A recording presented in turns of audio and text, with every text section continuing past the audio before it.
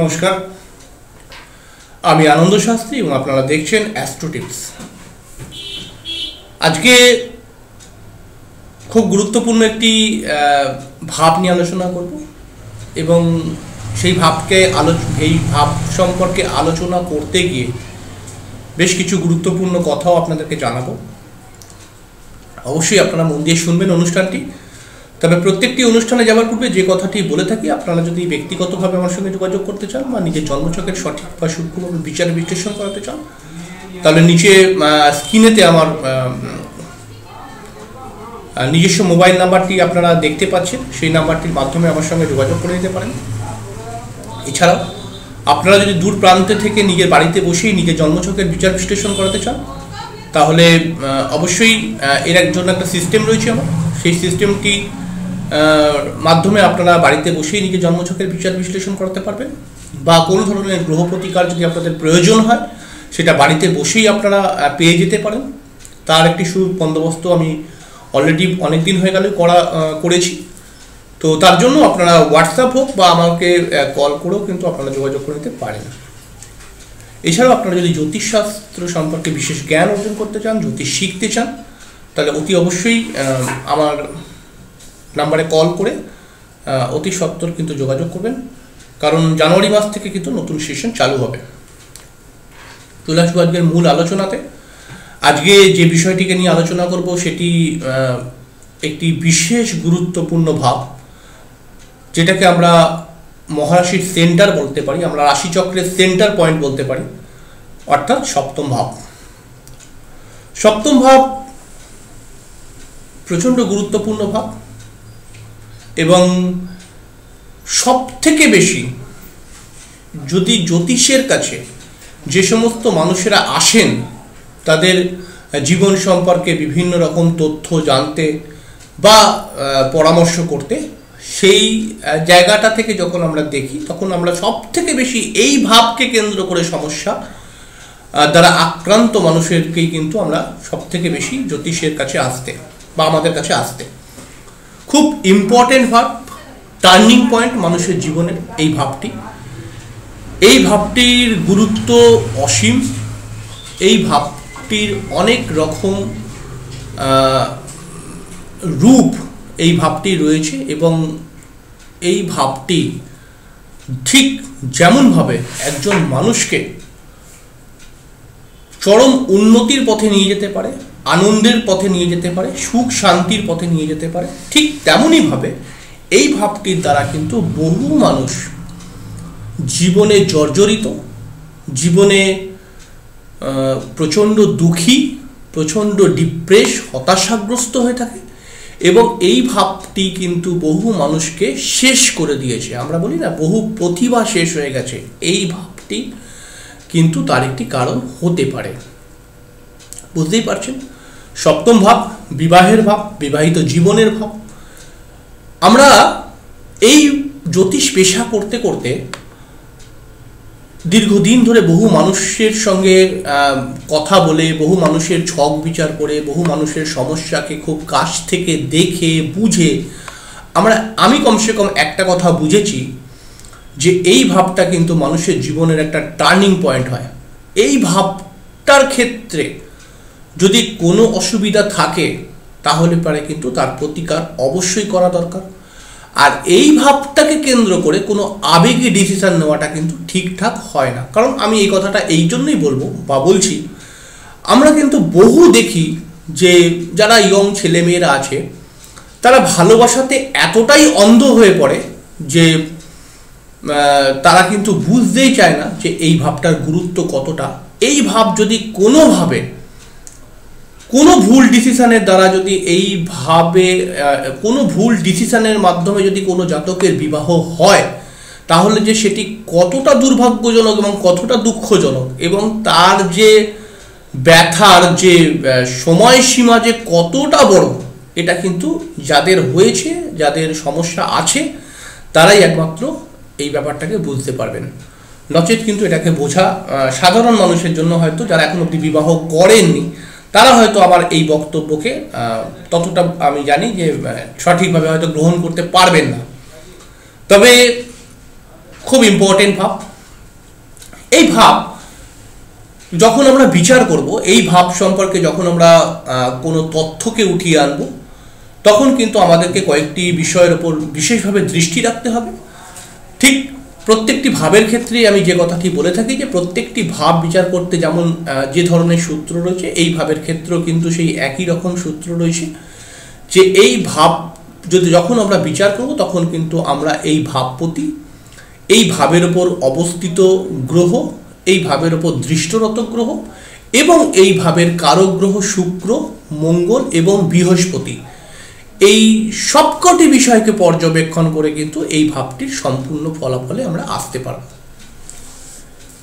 যেহেতু আমরা সবসময় একটা কথা খেয়াল রাখতে হবে যে যখনই কোনো রাশির, যে কোনো রাশির সপ্তম ভাব কিন্তু যেই ভাব মানে যেই রাশি হবে, যে কোনো রাশির সপ্তম রাশিটি যে রাশি হবে, সেই রাশির সমস্ত তত্ত্বগুণ সেই রাশির সমস্ত বর্ণগুণ, সেই রাশির সমস্ত নেচার কিন্তু তার ঠিক অপোজিট রাশির ওপরে কিন্তু বর্তাবে। অর্থাৎ যদি আমরা মনে করি যে বৃশ্চিক রাশির আমরা যদি কথা বলি সাধারণভাবে, তাহলে পারে কিন্তু বৃশ্চিকের অপোজিট রাশি হচ্ছে বৃষ রাশি। তাহলে পারে বৃষ রাশির অনেক ধর, অনেকটা তত্ত্বগুণ বা অনেকটা বর্ণগুণ বা অনেকটা নেচার কিন্তু আমরা বৃশ্চিক রাশির মধ্যে দেখতে পাবো। ঠিক অপোজিটভাবে কিন্তু বৃষ্টিকের অনেকটা নেচার কিন্তু বৃষর মধ্যেও আমরা দেখতে পাবো। এটা স্বাভাবিকভাবে হয়ে থাকে, অর্থাৎ সপ্তমে যেই জিনিসটা থাকে, সেটা কিন্তু সরাসরি আমার মুখোমুখি থাকে। এবং সেই মুখোমুখির একটা প্রতিচ্ছবি বলুন বা একটা ছায়া বলুন কিন্তু সেই রাশিটির ওপরে অবশ্যই পড়ে এবং তার থেকে কিন্তু অনেকটাই সেই রাশির গুণাগুণ বা চারিত্রিক বৈশিষ্ট্যর পরিবর্তন ঘটে। এবারে ঘটনা হচ্ছে যে সপ্তম ভাব বিচার যখন আমরা করব, তখন সব থেকে বড় কথা হচ্ছে যে সপ্তম ভাব থেকে কিন্তু আমরা বিবাহিত জীবন বিচার করি, আমার ওয়াইফ বা আমার হাজব্যান্ড বিচার করি, ইত্যাদি ইত্যাদি বিচার করি, সব আসছি আমরা স্টেপ বাই স্টেপ তো একটা কথা খেয়াল রাখতে হবে যে সপ্তম ভাবের, সপ্তম ভাব হচ্ছে নবম ভাবের একাদশ ভাব। আমরা যদি নবম ভাব থেকে আমাদের সৌভাগ্য বিচার করে থাকি, তাহলে আমরা বলতেই পারি যে সৌভাগ্যের সফলতা কিন্তু সেভেন্থ হাউসের ঘর থেকে আসবে। সপ্তম ভাব থেকে কিন্তু আসবে। সেই ক্ষেত্রে সপ্তম ভাব যদি কোনো জাতকের ড্যামেজ হয়ে যায়, তাহলে পারে কিন্তু তার ভাগ্যের উন্নতির ক্ষেত্রে কিন্তু বাধাগ্রস্ত হবে।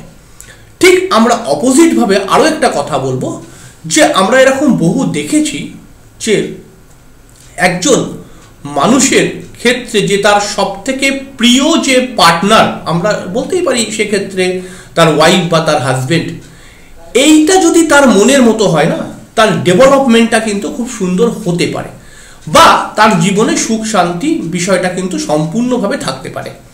কিন্তু যদি এই জায়গাটা যদি কোনোভাবে বিগড়ে যায়, কোনোভাবে খারাপ একটা জায়গা তৈরি করে তাহলে পারে কিন্তু সেটা ডাইরেক্টলি প্রভাব কিন্তু লগ্নের ওপরে পড়বে, অর্থাৎ সেই জাতকের ওপরে পড়বে। অর্থাৎ আমরা বলতেই মানে বুঝতেই পারছি হয়তো যে আমার সপ্তম ভাব কতটা ইম্পর্টেন্ট ওই ভাবের কোনো রকম ডিস্টারবেন্স কিন্তু ডাইরেক্টলি আমাকে প্রবলেমে ফেলবে।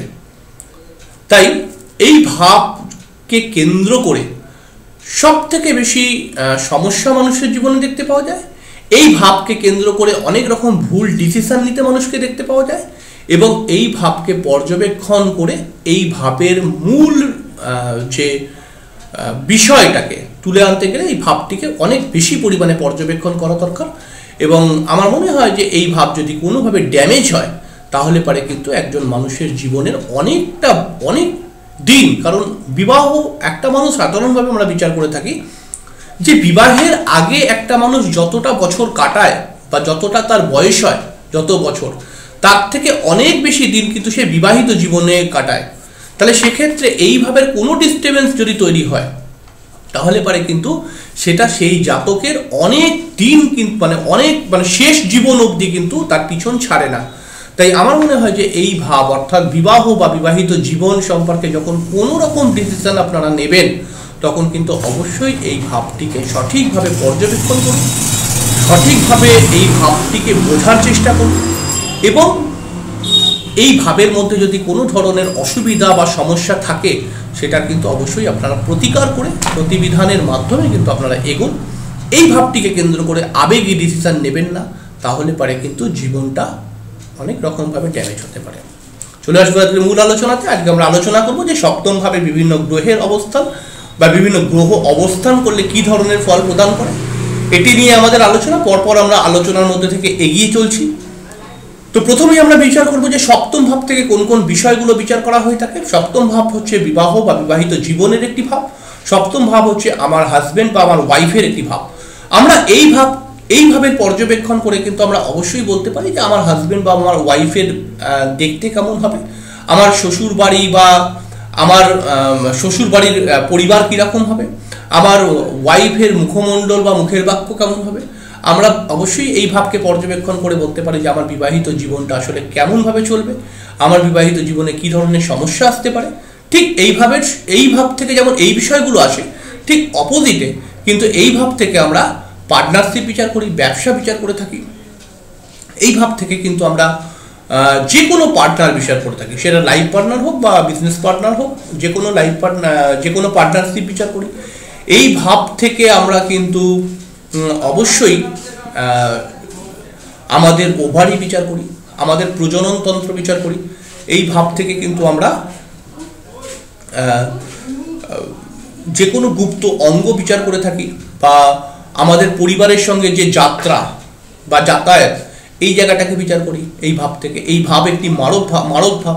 অবশ্যই সপ্তম ভাব একটি কেন্দ্রস্থান। তবে আমি আগে বলেছিলাম যে চারটি কেন্দ্রস্থান, অর্থাৎ লগ্ন, চতুর্থ, সপ্তম, দশমের মধ্যে সপ্তম ভাবের কেন্দ্র কেন্দ্রত্ব ক্ষমতা কিন্তু একটু কম। কারণ হচ্ছে যেহেতু এই ভাব থেকে মারক বিচার করা হয়ে থাকে, তাই এই ভাবের মধ্যে গ্রহরা এসে গেলে পারে কিন্তু সেটা যদি লগ্ন সাপেক্ষে শুভ গ্রহ হয়, তবুও কিন্তু সেই ততটা শুভত্ব কিন্তু এই সেই জাতকের ওপরে সেই গ্রহটি দিতে পারে না। কারণ হচ্ছে এই ঘরের মধ্যে কিন্তু মারকত্ব দোষও আছে। সপ্তম ভাব ব্যবসার ভাব এবং আমাদের বর্তমান যুগে যেভাবে যুগ এগোচ্ছে, সেখানে কিন্তু বহু কর্মসংস্থান ধীরে ধীরে কমে যাচ্ছে এবং ব্যবসার প্রাধান্য আস্তে আস্তে বাড়ছে এবং প্রচুর ছেলে মেয়ে আছে যারা কিন্তু নতুন নতুন অনেক রকম জিনিসের ব্যবসা করে থাকেন এবং তারা ব্যবসা করে যথেষ্টই উন্নতি করছে। তো এই যে বিষয়টা, ব্যবসা সংক্রান্ত সমস্ত বিষয়, এটা কিন্তু আমরা সপ্তম ভাবের পর্যবেক্ষণ থেকে অবশ্যই বার করে নিয়ে আসতে পারব। কী ধরনের ব্যবসা করলে বেটার হবে? ব্যবসা কেমনভাবে চলবে? বা আমরা ব্যবসা সম্পর্কে যাবতীয় তথ্য কিন্তু এই ভাব থেকে আনতেই পারি বিচার করে। আমরা এই ভাব থেকে কিন্তু একজন জাতকের, একজন বিশেষ করে মেয়েদের ক্ষেত্রে এই ভাবটি খুব ইম্পর্টেন্ট হয়। কারণ হচ্ছে যে প্রজননতন্ত্র বা ওভারি এই ভাব থেকে বিচার করা হয়ে থাকে এবং আমরা নিশ্চয়ই জানি যে বাচ্চা, বিবাহের পরে বাচ্চা হওয়ার ক্ষেত্রে একটা আমাদের যে ওভারি বা প্রজননতন্ত্রের একটা বড় ভূমিকা রয়েছে। সেক্ষেত্রে কিন্তু সেই সমস্ত বিচার, বিচারের ক্ষেত্রে কিন্তু এইভাবে পর্যবেক্ষণ মানে খুবই প্রয়োজনীয়। এই ভাব থেকে বিভিন্ন রকমভাবে কিন্তু যে বিভিন্ন রকম ছোট যাত্রা যেগুলো আমরা করে থাকি, অর্থাৎ পরিবারের সঙ্গে যে সমস্ত ভ্রমণ আমরা করে থাকি, সেই ধরনের বিষয়গুলো কিন্তু এই ভাব থেকে অবশ্যই উঠে আসে। এবং এছাড়াও কিন্তু এই ভাব কিন্তু জীবনসাথী বা বিবাহিত জীবনের জন্য তো অবশ্যই খুব ইম্পর্টেন্ট আমরা সবসময় একটা কথা বলব যে, এছাড়াও কিন্তু এই ভাব থেকে আরও একটা বিষয় যেটা হচ্ছে যে কাম ইচ্ছা, অর্থাৎ কাম ইচ্ছার ব্যাপারটাও কিন্তু এই ভাব থেকে অনেকটা প্রকাশ পায়। আসলে আমরা আলোচনা যখন করব এই ভাব সম্পর্কে, তখন আমরা একটা কথাই বলব যে এই ভাবের মধ্যে বিভিন্ন গ্রহরা এসে গেলে পরে কী ধরনের ফল প্রদান করে, এটা নিয়ে অবশ্যই আমাদের আলোচনা। আমরা যখন পরবর্তীকালে সপ্তম ভাবপতি কোথায় বিভিন্ন স্থানে গেলে পরে কী ধরনের ফল প্রদান করে, এই যখন বিষয়টাকে নিয়ে যখন আমরা অনুষ্ঠান করব, বা আপনারা যখন এই অনুষ্ঠানটি দেখবেন আমার, তখন আমি ওখানে আরও ডিটেলসে এই ভাব সম্পর্কে বলব, কারণ তখন ওটা কিন্তু খুব গুরুত্বপূর্ণ একটি বিষয় যে সপ্তম ভাবপতি কোথায় কোথায় গেলে কী ধরনের ফল প্রদান করে, সেটা কিন্তু বিবাহিত জীবনের অনেকটা বিষয়কে কিন্তু ওইখান থেকেও আসবে অনেকটা বিষয়। আমরা প্রথমে বলব যে রবি যদি এইভাবে চলে আসে তাহলে কি ধরনের ফল প্রদান করে? রবি যদি সপ্তমভাবে থাকে তাহলে অস্তমিত হয়ে যায় রবি। আমরা সাধারণভাবে জেনেই থাকি যে বিকাল সাড়ে পাঁচটা থেকে রাত্রি সাড়ে সাতটার মধ্যে যদি কোনো জাতকের জন্ম হয়, তখনই কিন্তু তার রবি সপ্তমে আসবে। কারণ হচ্ছে সেই সময়টা কিন্তু আমরা জানি সূর্য উদয় এই সূর্য অস্তের সময়। এবং সেই সময় যদি কারও জন্ম হয়, তাহলে আমরা কিন্তু বলতেই পারি যে তার রবি কিন্তু কমজোর। এবং সপ্তমভাবে রবি কিন্তু অনেক রকমের সমস্যার সৃষ্টি করে। সপ্তমভাবে রবি কিন্তু বিবাহিত জীবনে বিভিন্ন রকমের সমস্যা ক্রিয়েট করে। সপ্তমভাবে রবি থাকলে পারে, জাতক মাথা গরমের প্রবণতা সৃষ্টি করে, জাতক উত্তেজিত স্বভাবের হয়, জাতকের প্রচণ্ড হাই ড্রিম কাজ করে, জাতক প্রচণ্ড ভুল ডিসিশন নেয়, জাতকের ভেতরে একগুয়েমি বা জেদি ভাব দেখতে পাওয়া যায়। জাতকের পার্টনার যে হয়, তারও মাথা গরমের প্রবণতা থাকে। জাতকের পার্টনারের বংশ পরিচয় ভালো হয়।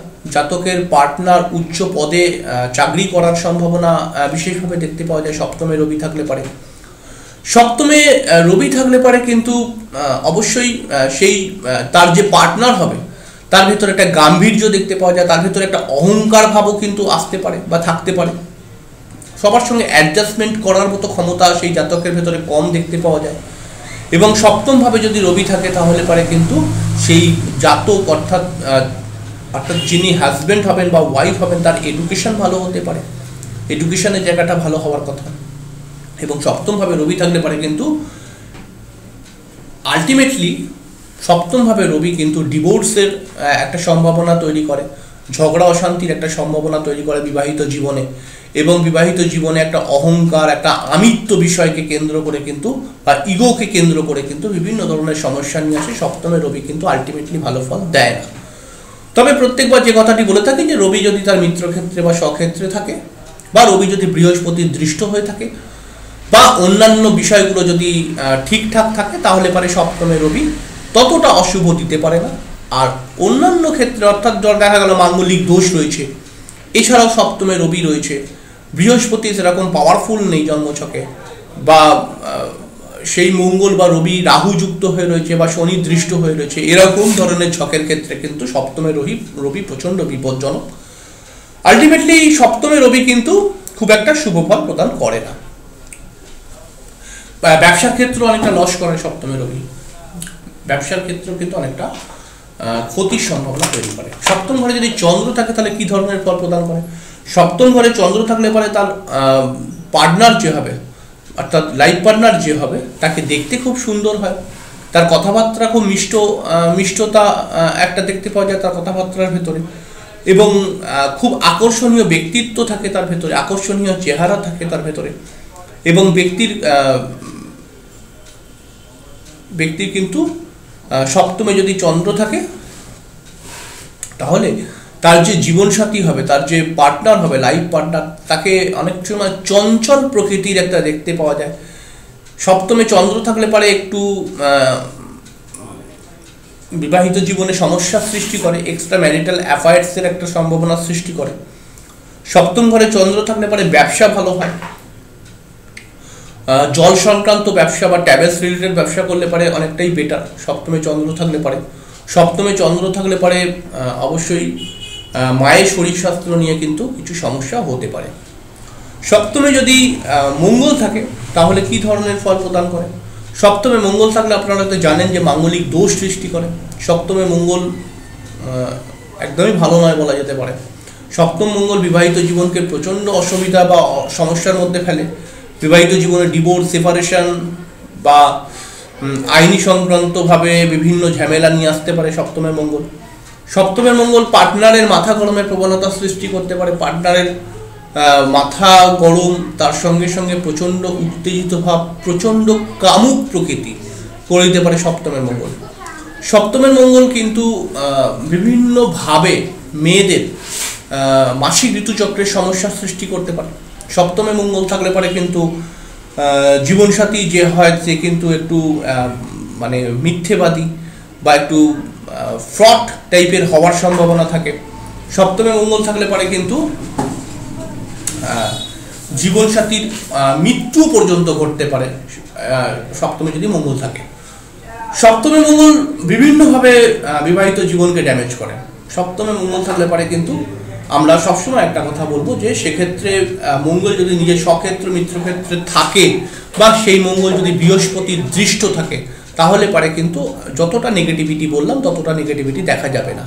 আবার ঠিক এরকমভাবে সপ্তমে মঙ্গল যদি রাহু দ্বারা দৃষ্ট হয়, তাহলে কিন্তু অনেকটা বেশি পরিমাণ বিবাহিত জীবনের সমস্যা বা ডিভোর্স সেপারেশনের জায়গা কিন্তু ক্রিয়েট করে দেয়। এবারে আমরা বলব যে সপ্তম ভাবে যদি বুধ থাকে সপ্তম ভাবে বুধ থাকলে পরে খুব একটা শুভ নয়, খুব একটা অশুভও নয়। সপ্তম ভাবে বুধ থাকলে পরে জীবনসাথী বা পার্টনারের এজ একটু কম হতে পারে। তার ভিতরে একটু বাচ্চা সুলভ আচরণ দেখতে পাওয়া যেতে পারে, তবে পার্টনার কিন্তু বুদ্ধিমান হয়, গুণবান হয় এবং সে কিন্তু সবার সঙ্গে মিশে যেতে পারে। সপ্তম ঘরে বুধ থাকলে পরে কিন্তু বিবাহিত জীবনের পর শারীরিক সম্পর্কের দিকে একটা আনস্যাটিসফ্যাকশন তৈরি করে। এই একটা সমস্যা কিন্তু বুধ থাকলে পরে দেয় সপ্তমভাবে। সপ্তমভাবে বুধ কিন্তু বিবাহিত জীবনে এই ধরনের একটা প্রবলেমকে কেন্দ্র করে সমস্যা ক্রিয়েট করে, নইলে সপ্তম ঘরের বুধ কিন্তু এমনি সামাজিকতার দিক থেকে কিন্তু খুব পজিটিভ তবে শারীরিক জায়গাটার দিক থেকে কিন্তু সপ্তমে বুধ একটু ফিজিক্যাল রিলেশনের প্রবলেম নিয়ে আসতে পারে এবং ওভারির মধ্যে বা প্রজনন তন্ত্রের মধ্যে কিন্তু সমস্যা নিয়ে আসতে পারে পার্টনারের সপ্তম ঘরে যদি বৃহস্পতি থাকে, খুবই শুভ ফল প্রদান করে। সপ্তম ঘরে বৃহস্পতি কিন্তু তার যে পার্টনার হয়, তার যে জীবনসাথী হয়, তাকে গুণবান বানায়, তাকে জ্ঞানী বানায়, তাকে দয়ালু বানায়, বুদ্ধিমান বানায়, এবং তার ভেতরে প্রচণ্ড আধ্যাত্মিকতা দেখতে পাওয়া যায়। জাতক নিজে উচ্চ পদে আসীন হতে পারে, জাতকের ভেতরেও প্রচণ্ড আধ্যাত্মিকতা দেখতে পাওয়া যেতে পারে। জাতক প্রচণ্ড দয়ালু মানসিকতার হতে পারে জাতক নিজে দয়ালু মানসিকতা হতে পারে জাতক জ্ঞানী প্রকৃতির হতে পারে, লোককে, লোকের উপকার করতে সে ভালোবাসতে পারে। বৃহস্পতি যদি সপ্তম ভাবে থাকে, তবে জাতকের বিবাহের পরে অনেকটা ডেভেলপড হতে দেখা যায়।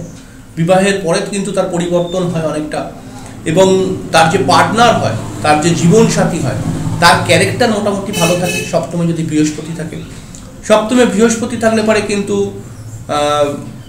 বিবাহিত জীবন মোটের ওপরে ভালো বা খুশির ওপর থেকে, আনন্দের ওপর থেকে চলে। যদি বৃহস্পতিটা খুব বেশি পীড়িত না হয়, তবে। সপ্তমে বৃহস্পতি কিন্তু একটু বেশি বয়সে গিয়ে বিবাহ করায় এবং সপ্তমে বৃহস্পতি কিন্তু বিবাহিত জীবনের ফিজিক্যাল রিলেশনের ক্ষেত্রে কিছু সমস্যা ক্রিয়েট করে। সপ্তমে যদি শুক্র থাকে, আমরা বলেছিলাম যে সপ্তম ভাবকারক গ্রহ শুক্র যখন সপ্তমে চলে আসবে, তখন অবশ্যই ভাবকে, ভাবের ফল হানি করে। আমরা আগে এই কথাটা বলেছিলাম। সেক্ষেত্রেও কিন্তু সপ্তমভাবে যদি শুক্র থাকে, তাহলে পারে কিন্তু মোটের ওপর বিবাহিত জীবন ভালো, তবে সমস্যা কিছু না কিছু লেগেই থাকে। সপ্তমভাবে শুক্র কিন্তু বিবাহর ক্ষেত্রে জীবনসাথীর কে দেখতে খুব সুন্দর বানায়, আকর্ষণীয় চেহারার মালিক বানায়, এবং তার একটা গ্ল্যামার খুব সুন্দর দেখতে পাওয়া যায়। ঔজ্জ্বলতা শরীরের মধ্যে দেখতে পাওয়া যায়, যত বুদ্ধিমান হয়, ধনবান হয় সপ্তমে শুক্র থাকলে পারে জাতকের ব্যবসা ক্ষেত্রে ব্যবসা করলে পারে অনেকটা বেটার ব্যবসায়ী হয় সেই জাতক। সপ্তমে যদি শুক্র থাকে তাহলে তার পার্টনারের কথাবার্তা ভালো হয় এবং সপ্তমে যদি শুক্র থাকে তাহলে সেই জাতক প্রচণ্ড কামুক প্রকৃতির হয় এবং তার পার্টনারের সাইড থেকেও কিন্তু সেই ব্যাপারটা দেখতে পাওয়া যায়। অর্থাৎ মোটের ওপর আমরা এটাকে ভালোই বলব বিবাহিত জীবনের ক্ষেত্রে। এবং জীবনসাথীর ভেতরে কিন্তু অনেক রকমের ভালো ভালো গুণ থাকে ট্যালেন্ট থাকতে পারে তার ভেতরে, কোনো কলা থাকতে পারে তার ভেতরে। জীবনসাথী কিন্তু সপ্তমে যদি শুক্র থাকে, তাহলে কিন্তু জীবনসাথী বা পার্টনার কিন্তু মোটের ওপর খুবই ভালো হয় এবং সুন্দর হয় এবং সুখী দাম্পত্য জীবন কাটতে পারে। তবে শুক্র যদি পীড়িত হয়ে যায়, আর অন্যান্য সাইডগুলো যদি ড্যামেজ থাকে, তাহলে পারে কিন্তু সপ্তমভাবে শুক্র থাকলেও কিন্তু শুভ ফল প্রদান করতে পারবে না। সপ্তমভাবে যদি শনি থাকে, তাহলে অবশ্যই বিবাহিত জীবনে বিভিন্ন রকম সমস্যার সৃষ্টি করে। সপ্তমভাবে শনি কিন্তু বিবাহ বিলম্বে করায়, অনেকটা লেটে বিবাহ দেয়। সপ্তমভাবে শনি কিন্তু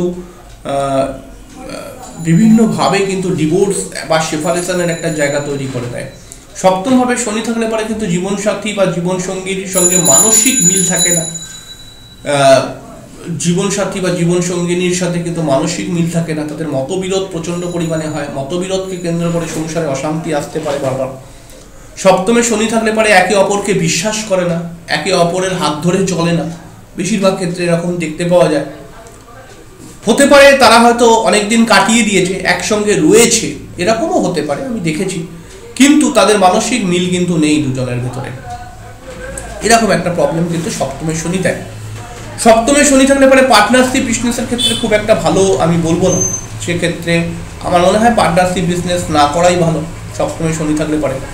সপ্তমে শনি কিন্তু জীবনসাথীর গাইনো প্রবলেম ক্রিয়েট করতে পারে। জীবনসাথীর সপ্তমে যদি শনি থাকে, তাহলে সেক্ষেত্রে ছেলেদের ক্ষেত্রে আমি যেটা বলব যে সপ্তমে যদি শনি থাকে, তাহলে পারে কিন্তু বিবাহের আগে অবশ্যই যার সঙ্গে বিবাহ করবে তার সন্তান হবার জায়গাটা ঠিকঠাক আছে কিনা এটা বিচার বিশ্লেষণ করেই কিন্তু বিবাহ করা উচিত। আমার মনে হয়, আমার এটা ব্যক্তিগত অভিজ্ঞতা থেকে আমি আপনাদেরকে বললাম। সপ্তম ঘরে শনি থাকলে পারে কিন্তু অবশ্যই বিবাহিত জীবনে বিভিন্ন রকম সমস্যার সৃষ্টি করে। সপ্তম ঘরে শনি থাকলে পারে কিন্তু তার যে ওয়াইফ হয় তার যে পার্টনার হয় বা জীবনসঙ্গী হয় বা জীবনসাথী হয় তার কিন্তু তার ভেতরে কিন্তু একটা অনেক বেশি পরিমাণে আধ্যাত্মিকতা দেখতে পাওয়া যেতে পারে। আবার সেই জাতকের ভেতরে দেখতে পাওয়া যেতে পারে, যার সপ্তমে শনি রয়েছে। সেই জাতকের জ্যোতিষের প্রতি একটা ন্যাক বা তন্ত্রের প্রতি একটা ন্যাক বা ভগবানের প্রতি একটা আস্থা, এগুলো কিন্তু দেখতে পাওয়া যায়। সপ্তমে রাহু থাকলে পরে বিভিন্ন রকমভাবে বিবাহিত জীবনকে ড্যামেজ করে। সপ্তমে রাহু থাকলে পরে রীতিবিরুদ্ধে বিবাহ করায়, অন্য ধর্মে বিবাহ করায়। সপ্তমে রাহু কিন্তু জীবনসাথীর ব্যক্তিত্বকে অনেকটাই খারাপ করে। জীবনসাথী মিথ্যেবাদী হয় খুব রূঢ় প্রকৃতির হয়, খুব বাজে ধরনের কালচারের হয় এবং সপ্তমে রাহু কিন্তু সেই জাতককে প্রচণ্ডই হতাশাগ্রস্ত করে তোলে সপ্তমে যদি রাহু থাকে। সপ্তমে রাহু থাকলে পারে কিন্তু জীবনসাথীর ক্ষেত্রে কিন্তু এটা প্রচণ্ড মাথা গরমের প্রবণতা বা রোগী প্রকৃতির করে দেয়। সপ্তমে রাহু থাকলে পারে কিন্তু বিবাহিত জীবনে এক্সট্রা ম্যারিটাল অ্যাফেয়ার্স নিয়ে আসে, অবৈধ সম্পর্ক নিয়ে আসে সপ্তমে রাহু। সপ্তমে রাহু কিন্তু অবশ্যই বিবাহিত জীবনের জন্য ভালো নয় এবং সপ্তমে রাহু থাকলে পারে কিন্তু অনেক ক্ষেত্রে ডিভোর্স হতে দেখা যায়। সপ্তমে রাহুর সঙ্গে যদি সপ্তমে সপ্তমে রাহু আর একটা প্রবলেম করে। সপ্তমে রাহু কিন্তু হঠাৎ বিবাহ করিয়ে দেয়। এটাও কিন্তু খেয়াল রাখতে হবে। সপ্তমে রাহু কিন্তু হঠাৎ বিবাহ করিয়ে দেয়। হঠাৎ বিবাহের কারক গ্রহ কিন্তু সপ্তমে রাহু হতে পারে বা পঞ্চমে রাহু হতে পারে। রাহু যদি বৃহস্পতির দৃষ্ট হয় সপ্তম পতির যদি অবস্থা ভালো জায়গায় থাকে, মঙ্গলের কোনো মাঙ্গলিক দোষ যদি না থাকে জন্মচকে তাহলে পারে কিন্তু সপ্তমে রাহুর যতগুলো নেগেটিভিটি বললাম, ততগুলো নেগেটিভিটি আর দেখতে পাওয়া যাবে না। অনেকটাই পজিটিভ হয়ে যেতে পারে।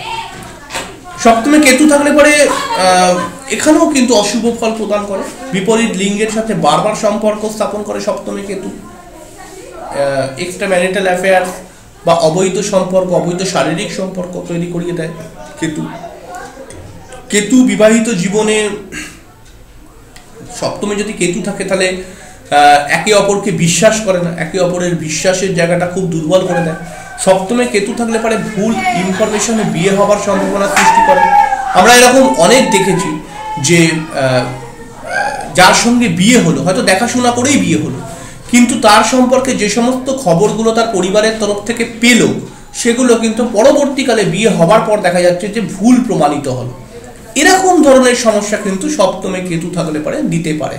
তাই সপ্তমে যদি কেতু থাকে, তাহলে আমার মনে হয় একটু ভালো করে বিচার বিবেচনা করে, একটু খোঁজ খবর নিয়ে বিয়ে করাটা উচিত। যারা দেখাশোনা করে বিয়ে করছেন, তাদের ক্ষেত্রে বললাম, বলব। এবং যদি আপনারা ভালোবাসার পথে দুজনে চলেন এবং দুজনে ভালোবাসার পথে পরবর্তীকালে বিবাহিত জীবনে দুজনে আবদ্ধ হতে চান, সেক্ষেত্রে সপ্তমের কেতু কিন্তু দুজনের ভালোবাসার যে ভেতরে যে বিশ্বাস, সেই বিশ্বাসকে অনেকটা ড্যামেজ করে। সপ্তমে কেতু কিন্তু লাইফ পার্টনারের শারীরিক বা গাইনোকাল প্রবলেম ক্রিয়েট করতে পারে। বাচ্চা হওয়ার ক্ষেত্রে কিছু প্রতিবন্ধকতা নিয়ে আসতে পারে সপ্তমে কেতু। সপ্তমে কেতু থাকলে পারে কিন্তু বিবাহিত জীবনের ক্ষেত্রে অনেক রকমেরই ঝুট ঝামেলা নিয়ে আসে ডিভোর্সও অনেক সময় হতে দেখা গেছে। এবং জীবনসাথী বা পার্টনার তার একটু রহস্যময় চরিত্রের হয়। এবং তাকে বোঝা খুব মানে মুশকিল হয়ে পড়ে যে সে আসলে ব্যক্তিটা কীরকম ধরনের। এবং সপ্তমে কেতু কিন্তু বিভিন্ন রকমভাবে অন্য লোকের একটা শত্রুতা, একটা শিকার কিন্তু হয় তার পার্টনার আবার তার পার্টনারের ভেতরে কিন্তু বেশ কিছু কূটনৈতিক মানসিকতাও দেখতে পাওয়া যায় সপ্তমে কেতু খুব সামান্য করে করে বললাম, কারণ বিবাহিত জীবনটা খুবই সেন্সিটিভ অনেকগুলো বিষয়কে বিচার করতে হয়। এখানে এরকম একটা সামান্য প্রোগ্রাম করে এটা কখনোই বলে ওঠা সম্ভব হয় না যে আলটিমেটলি কীরকম ফল দেবে। এটা আরও অনেকগুলো বিষয়কে দেখার আছে। তবে আমি যতদিন ধরে আমার এই অভিজ্ঞতায় আমি যে জ্যোতিষ পেশা করছি, সেখানে আমি দেখেছি যে সপ্তম ভাব যদি কোনো মানুষের ড্যামেজ হয়, তাহলে পারে কিন্তু তার জীবনের অনেকটা বেশি বিষয় ড্যামেজ হয়ে গেল, আমার মনে হয়। তাই এই ভাব যদি কোনোভাবে দুর্বল হয়, এই ভাব যদি কোনোভাবে পীড়িত হয়, এই ভাব যদি কোনোভাবে অশুভ সংকেত দেয়, তাহলে পারে কিন্তু তার প্রতিকার করা উচিত, তার প্রতিবিধান করা উচিত। তারপরেই কিন্তু বিবাহিত জীবনে প্রবেশ করা উচিত। আমরা, আমি এরকম বহু মানুষকে দেখেছি যারা কিন্তু এই ভাব, যারা জ্যোতিষের প্রতি প্রচণ্ড সিরিয়াস তারা কিন্তু অবশ্যই তার প্রতিকার, প্রতিবিধানের ওপর আস্থা রাখে, জ্যোতিষের প্রত্যেকটা কথার ওপরে বিশ্বাস করে, জ্যোতিষের কথা মেনেই তারা চলে। আবার আমি এরকমও দেখেছি যারা কিন্তু একটুখানি আমাদের কথাকে তোয়াক্কা না করে, একটু নিজেই বেশি বুদ্ধি খাটিয়ে কিন্তু ভাবলো কি যা হবে দেখা যাবে সবার জীবনেই তো সমস্যা আছে। এরকম অনেকে কিন্তু মনে করে যে বিবাহিত জীবনে তো সবারই সমস্যা আছে। তো যা হবে দেখা যাবে। এতটা ইজি নয়। এই ভাব যদি একবার সমস্যা দিয়ে দেয়, তাহলে পারে কিন্তু পিছনে ব্যাক করার আর কোনো রাস্তা থাকে না। পিছনে ব্যাক করার কোনো রাস্তা থাকে না। আর যদি আপনি পিছনে ব্যাক করতে চান, তাহলে আপনার জীবনের যে মান সম্মানটুকু অর্জন করেছেন সেই সব কিছুকে রাস্তায় ফেলে দিয়ে আপনাকে ব্যাক করতে হবে। তাই খুবই সিরিয়াস এই ভাব সম্পর্কে। যদি আপনাদের এই ভাব কোনোভাবে ড্যামেজ থাকে, আমার মনে হয় আপনারা প্রতিকার প্রতিবেদনের মাধ্যমে এগোন। তাহলে পরে অনেকটাই ঠিকঠাক জায়গায় কিন্তু আপনারা পৌঁছাতে পারবেন এবং একটু জ্যোতিষশাস্ত্রকে মানার চেষ্টা করবেন। একটু জ্যোতিষের উপর আস্থা বা বিশ্বাস রাখার চেষ্টা করবেন। তাহলে পারে কিন্তু আমার মনে হয় যে বিবাহিত জীবনের সমস্যা অনেকাংশে কমে যেতে পারে। বা অনেকটাই আপনাকে সেভ করা যেতে পারে।